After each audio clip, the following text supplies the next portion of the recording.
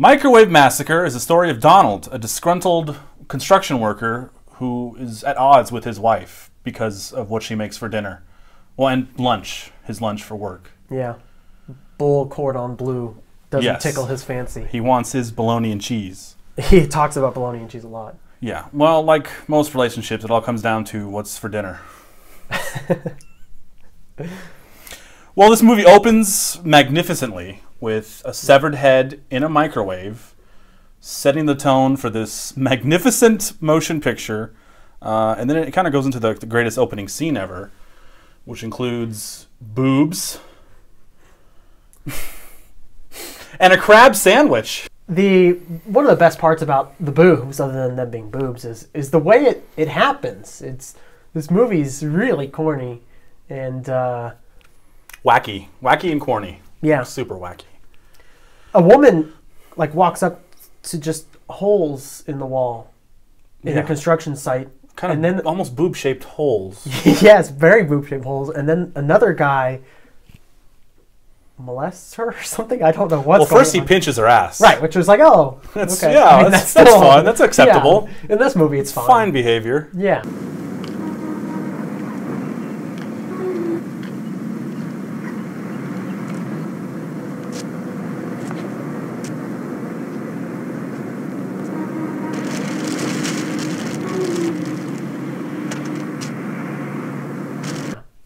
But then, so she when she she goes into the thing, but then she starts to get undressed and she's like bouncing around, and then they don't show the guy anymore Yeah. and it gets kind of weird. But they don't don't think about that because you're too entertained by boobs and crab sandwich, Yeah. And the sandwich is just, full on crab. yeah, it's an actual crab. A crustacean critter between two slices of bread. No, we're not talking like seafood salad. No, no, no, no. No, no, this is a an actual crab. Right. Let's talk about the grumpy bartender, your favorite character in this movie. I love the grumpy bartender. Yeah. Who doesn't? Uh, he doesn't want to hear your shit. He just wants to serve you alcohol and be done with it. Pretty much, he has a license to serve liquor. He does not have a shrink license, as he states in the movie. Yes. So every time someone comes to get hit, gets alcohol from him, the first thing he says is, "I don't want to hear it. No. Don't tell me your life story." And everyone's trying to tell him because he works at like a strip club. Yeah, he's So- not. He's not uh, friendly to the women of the night either. He's No. not very whore friendly. No, He's very mean to a particular hooker in this movie. Actually, kicks her out. very much. But um, Our hero is there to save the day. yeah, well, I'm so hungry. I could eat a whore. so this movie had some wonderful '70s ish music.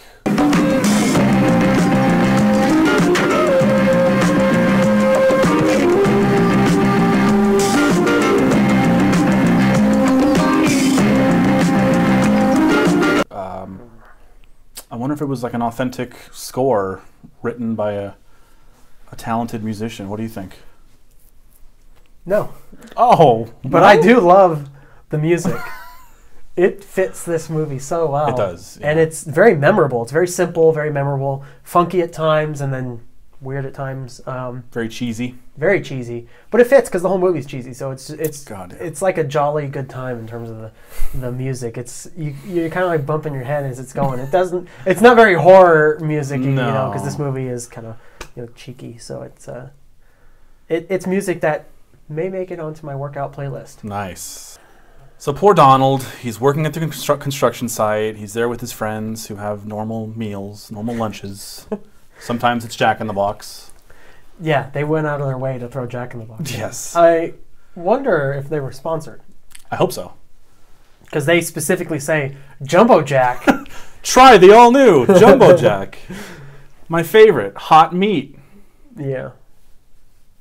It's my classic jumbo burger with fresh lettuce and tomato. And it's still just 99 cents. So as I was saying, poor Donald, his friends have normal food. He's stuck with crab sandwiches, but he then turns to dog food sandwiches. Right. Which, Which- he enjoys, He does. It's better than the crab. but then he still hates her for making him have to eat that. Yeah. I don't. Well, you know, the, uh, the, a dog comes by and he starts feeding the dog. So maybe he, f- he feels bad for the dog, feeds it all his food, then he's left with nothing. So he still resents his wife for forcing him to turn to dog food. Yeah, I don't understand his infatuation with the bologna sandwich. Bologna's okay. I mean, don't get me wrong. That's that's an okay meal. I feel like if you're working at a construction site, you actually might want a bigger meal than a bologna sandwich. But they don't do any actual construction in the movie, so maybe in fact, They wear hard hats. right, that is a lot of work. So maybe he doesn't need the nutrition. He wants something simple. But I don't understand. He, he the whole movie, his whole grudge against his wife is, I want a simple meal. Now get me that bologna and cheese. But why not just make yourself a sandwich? I think all of this movie just would simply not happen if he just said, you know what? You made a nice meal, but tomorrow for lunch, I'm going to make myself a ham sandwich. See, that's that's not his job. It's his wife's job to prepare him a meal every day. Yeah, she does seem to be self employed, or the homemaker. She is. But you know what? I kind of I kind of resent Donald. He's he, he crushes the dreams of his of his wife. Poor May. She has ambitions. Okay, she wants to make bull cordon bleu. She wants to make some spinach thing. Truffant. Truffant. Yes. Uh, and he just he doesn't appreciate it. No. Okay, he he turns to dog food. He I don't know. I think It's you're like- giving her a little too much credit. No, he needs She- to no, no, no, support her. Support She- your wife. She makes all of this in a microwave.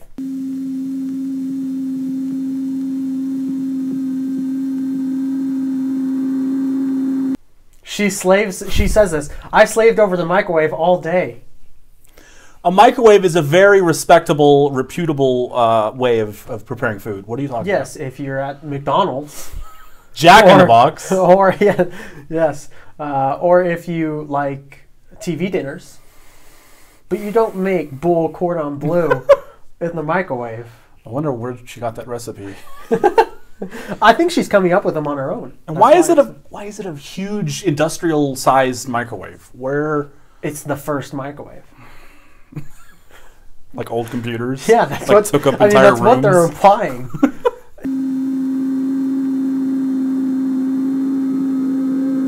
it has like thirty buttons on it. It does. There's like a there's three panels of buttons. We know there's a slow broil button.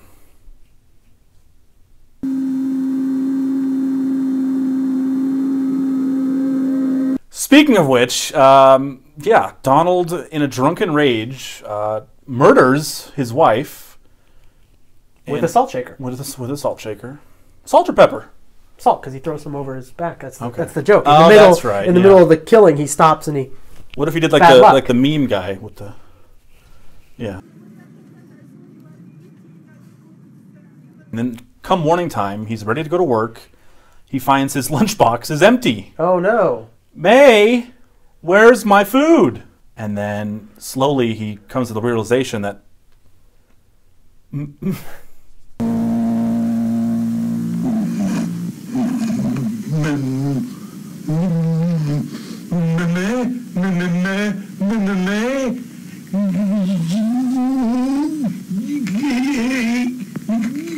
the microwave? Uh, and then that evening, I think he kind of subconsciously picks up the bright idea to eat the evidence of his crime. Yeah, he picks it up from a TV show telling him Yeah. to eat the evidence of your crime. It's the only way you'll get away with it. Not just any TV interview; it's a profanity profanity buzzer TV interview. Yes. where it's they're like trying to be funny, and it's it's almost funny, but then I'm just kind of like, Well, I've you know that's not the first time I've heard that joke done. I've actually heard it multiple times, where you know like they're they're bleeping out the profanity in something that normally wouldn't have that. So even though this movie had done it a while ago, it's kind of lost its luster because I've seen it Yeah, so it much count. recently. It's No not one- it's not fair to it though because it is, it is. No one's fucking seen Microwave Massacre. Nobody cares. Yeah, but I'm saying it did it first. I know, but nobody cares. Yeah, but if I hadn't seen all those, it no you don't care. Nobody cares. I fucking care. I am so sorry, Dylan. That was quite a tirade, Jen.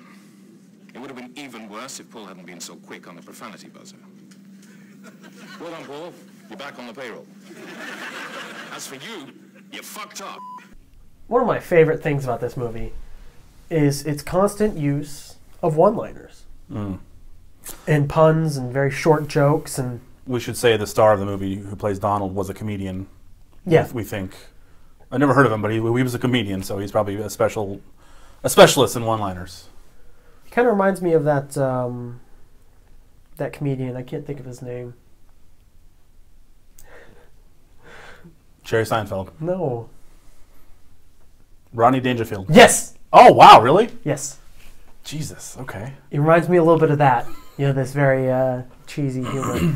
uh, but what, what's funny about this is it's bad. Most of it's really bad, and that's what makes it funny. And then some of it's actually almost funny. Uh, but there's just so much of it that you're gonna laugh at something, whether it's just the p- sheer mass of Yeah. these one-liners, because they every single sentence is almost meant to set up or be the one-liner. There is no fat on any of this movie. There's not like dialogue just a dialogue. There's always it's always trying to make some sort of joke. Yeah. This movie throws a ton of shit on the wall, and some of it does stick, but a lot of it falls off. And off. the rest, it, it doesn't matter because there's a ton of shit on the wall. It's funny. Yeah. Look at the messy, shitty wall. yeah, he's still throwing it. That's what you're saying in your head. Yes.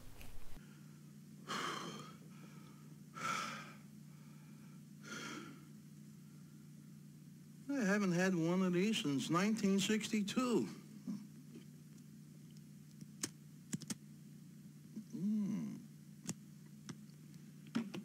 Times, a cigarette tastes perfect. But is this for after sex or before dinner? So Donald then starts sharing his delicious meat at work with his buddies Yep. because they asked to try his food. It looks so enticing. This huge hunk of meat, uh, this phallic chunk of meat. They're like, "Oh, I want to try that. Can we try that?" And they do, and they, they think it's delicious. Well, in fairness to them, he's always been so upset with his meals. They finally see him enjoying Ah, something. that's a good point. They don't. Re- it doesn't really come off in the scene, but that's the point. He's always he hates his meals. He hates crab on a bun every time. he's he's finally free of those meals, and then all of a sudden he comes in with this massive aluminum foil wrapped, you know, just ginormous, just hunk of meat. That's all it is. It's a tummy turn on. Yeah, yes, it is. They're uh, beside themselves when they try it. I really think that these guys should have uh, tried out uh, for something on Food Network. Because Yeah. you know when you get to the part where in Food Network they try their food, some of them don't quite nail it. They're like, "Mmm, this is good." The the blah blah blah. blah. No, no, no, no. I want these guys. Yeah. They're like, oh my god, this is the best tasting food ever. in fact, one after immediately trying it says he could eat this every day for the rest of his life, right. It's and that's tasty. what Donald offers up. Yes. And that evening, I think he tries a new recipe, uh, a hand kebab. He does.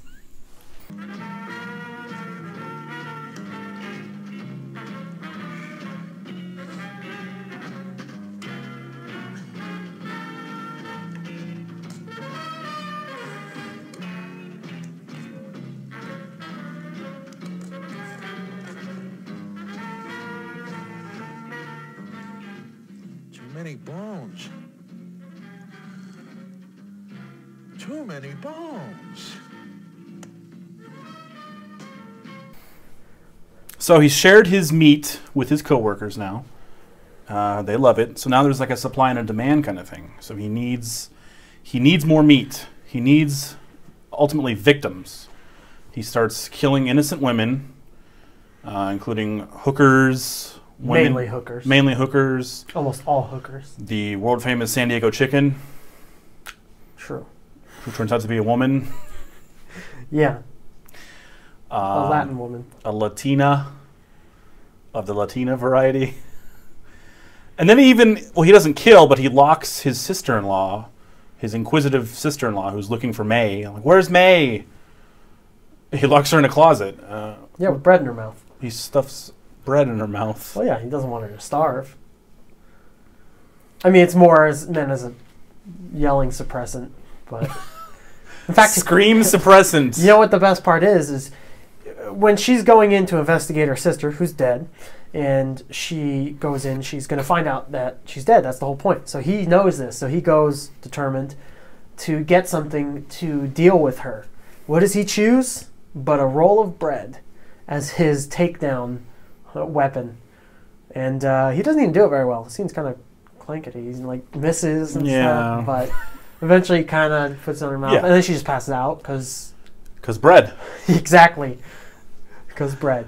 Yeah, I, I don't know. And then the bread starts going bad while she's locked in the closet, and it's I guess that's supposed to be funny. it's like a little gag, and it's like, okay, that's Right. funny, I guess.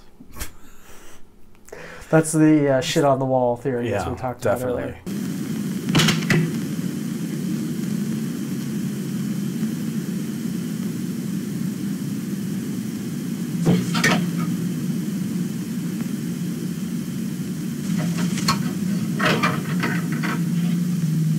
Ultimately, though, uh, Donald Loses to the microwave. Donald loses to the industrial sized microwave.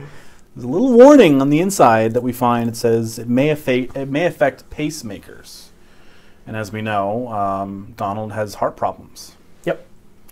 Uh, he even he visits his doctor. What's his What's the doctor's name again? You can go right into the examining room. The doctor's waiting for you. Ach, du lieber Augustin, Augustin, Augustin, ach, du lieber Augustin, um, pa, pa, pa. There were some other colorful characters in this movie, like the drive-through lady. Drive-through lady. Yeah, when Donald and his work buddies go to a drive-through to some place, and they they put in a silly order, which is just actually, hey, strip some stri- strip your clothes and have a coke ready or something. Tongue out. Oh, I missed the tongue out. Yeah. Damn it! Stick your tongue out and show us your dick. Okay, what? Uh, and as they drive, they're like giggling, and they drive they drive by, and they don't realize that She actually did it. she she did. She's She a dedicated worker. You know, you don't see that kind of dedication from fast food workers no. nowadays. Taco Bell always gets my order wrong. Yeah, I always ask them to hike up their skirt and unbutton their blouse. Never do I get it. I really loved a hardware store guy. He was a quirky fellow, and he made no sense, which was great. He tried to jam. What he he's he might be a okay comedian, probably not. But what? First of all, I think he's a friend of the main character. A friend? A friend of Donald's, the, the actual comedian. I bet he threw him in there because he's like a comedian friend. But um, that's what it felt like. But the guy just tried to jam pack too many jokes into too short a period. Yeah. The guy Donald was probably like, "All right, you got like 15 seconds. You know, just you know, throw a joke in there." And he's like, "I got to do like six six jokes." Yeah. So he just Right. rattles off like three or four jokes, and they're t- all terrible. As long as the camera's rolling, that guy was throwing jokes out. yeah. Again, throwing shit on the wall and see what sticks. Uh, listen, I came in for some household items. You wouldn't happen to have any uh, six-foot cookie sheets, would you? No, sir. We're fresh out of that popular size. Well, uh, how about some uh, elephant-sized cooking bags? You know, the Dumbo-sized. You gotta have 10-gallon mason jars. You have that, don't you? Hey, what are you, some kind of nut or something? Get out of here. I got a business to run. Every kind of creep comes in here. Hello, Coast Guard? Coast clear? Good. Oh, it's you again. Well, we're closed. There's another one. How about the uh, orgy neighbors, the orgy party neighbors? Yeah, or neighbor. I can't even tell how many people live there. Yeah, there's like a cross-dressing dude. There's the attractive blonde. What?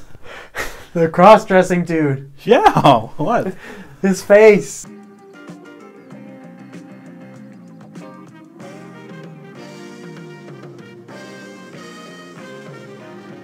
The interesting part, she has to take it up a notch because she needs to be weird. This movie's quirky. She needs to be a weird neighbor. Right. So she dildos her garden. She has a vibrating dildo that she uses to plow her garden. Nice use of plow there. Thank you. It's good. She spreads seeds in her garden via a vibrating dildo. I don't get why you aren't. Say something, Matt.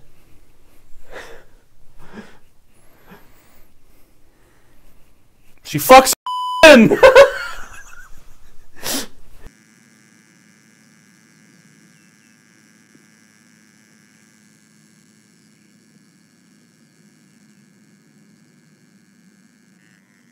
so as the film wraps up, um, Donald's dead, and someone, I guess, emergency services. Um, No, they're they're moving people. oh, they're moving people. Yeah. Remember they're carrying the couch out the front, and then some other people are like investigating the microwave. You're telling me the moving people find his dumb sister-in-law? Yeah. he died there, but there's human parts all in there. But the the movie, they're like moving the couch and then they're like investigating the microwave. It looks like the moving people. Yeah, They're not dressed. that's fine. To be no, policemen of that's any fair. sort, No. emergency personnel. Anyway, one of them is Adrien Brody. Yes, I know.